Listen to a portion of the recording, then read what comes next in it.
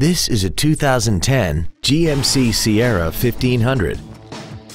This truck has a four-speed automatic transmission and a 4.8-liter V8.